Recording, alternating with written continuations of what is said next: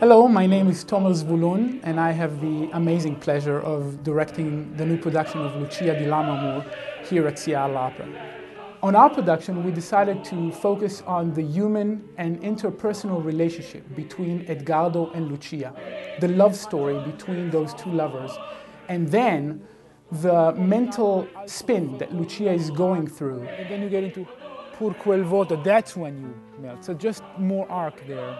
We wanted to show what goes on in her mind in a very visual and powerful theatrical way. One of the things that we invented is a character of a ghost that we call the love cursed bride. And that ghost keeps appearing to Lucia in various moments in the opera. The other character that we introduce in this opera is Lucia's mother. She is the evil force that moves everything and eventually forces Lucia into marrying the wrong guy and eventually go crazy.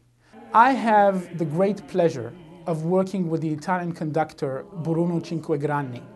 I found Maestro Cinquegrani to be not only a fantastic musician and a very sensitive conductor, but also a great collaborator in terms of the dramatic interpretation of the piece. Opening nightcast will feature Bill Burden and Aleksandra Kurzak as the two lovers, Lucia and Edgardo. Aleksandra is a prominent young Polish soprano who is performing all over the world, and we're delighted to have her make her Seattle debut with this role.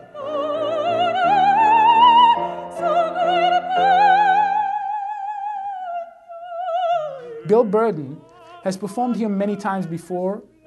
Recently, he created the role of Dodge in Amelia.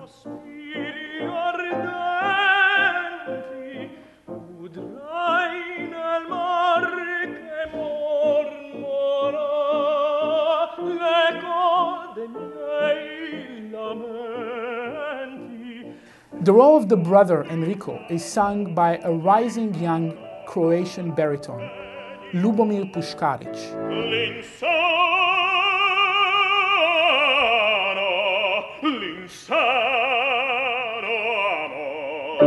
The other cast features Scott Piper and Davinia Rodriguez as the lovers. The role of the brother is sung by American baritone Phil Cutlip. One of the great delights in returning to Seattle Opera, which I consider my artistic home, is working again with the Seattle Opera Chorus.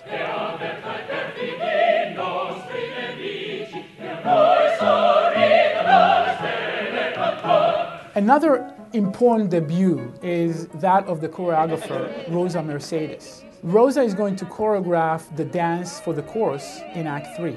But she's also involved in all of the intimate scenes between the principals. We open on October 16 and have eight performances through October 30th. Don't miss it. It's going to be a great show.